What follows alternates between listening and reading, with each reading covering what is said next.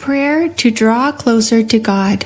Loving Father, I praise you because you are the Almighty God, full of mighty power, and there is none like you. You are the Creator and sustain every living creature in the world. You created each of us to worship and be in communion with you daily.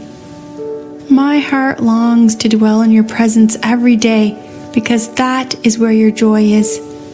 Your word says, If I draw closer to you, you will draw closer to me. James chapter 4 verse 8. Today, I draw closer to you through prayer, and I ask you to help me experience you in a special way. When I spend time with you, I feel refreshed and ready to face the chores of the day. My spirit feels light and trusts in you to take care of me every day. Refresh me that I may be the fountain of living water that others can draw water from when they encounter me. I want to bless others with the comfort you give me and the hope you fill me with as I seek your face. Let me never tire of drawing closer to you because you are my God and my helper. May the daily desire of my heart be spending time with you so I can get to know you. Saturate my heart with your love, which I can share with others around me. It is when you pour out your love in my heart that it will overflow even to those whom I consider unlovable.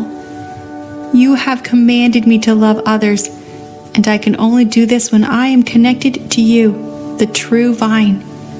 I will meditate on 1 Corinthians chapter 13 verses 4 to 7 which teaches me how to love others. You are my refuge and my fortress, and I put all my trust in you. The more I know you, the more I want to surrender to you. You fill my heart with gladness, and I can look forward to better days. I'm glad because you have made your glory rise over me and have crowned me with your goodness. In Jesus' name I pray. Amen. Thanks for watching. I hope this video has blessed you. If so, make sure you click that like button and subscribe. Stay blessed.